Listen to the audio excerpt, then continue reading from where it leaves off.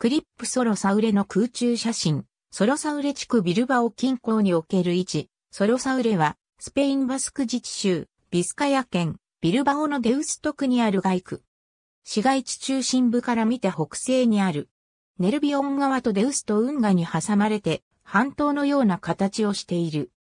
ネルビオン川川口部での船舶の操舵を容易にするため、1950年から1968年には、デウスト地区に川節運河としてデウスト運河が造成された。建設計画は最後の400メートルを残して停止されたが、建設途中の運河はドックとして残すことが決定され、ソロサウレ地区は現在のような半島となった。この時代にはビルバオの工業が絶頂期を迎えたが、1980年代にはビルバオ工業危機が襲った。多くの産業が衰退して移転を余儀なくされ、今日のソロサウレにはわずかな数の工場が残っているのみである。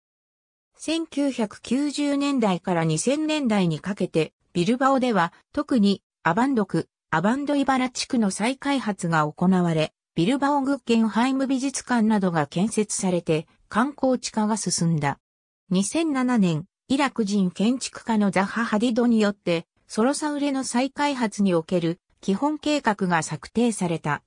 現在の地区は半島のような形をしているが、運河の建設を再開し、面積0.5平方キロメートルのソロサウレ島という中州に変えられる予定である。1万5000戸の住宅や6000人が働くオフィスや研究機関、ビルバオビスカヤクチャなどが建設される予定である。ありがとうございます。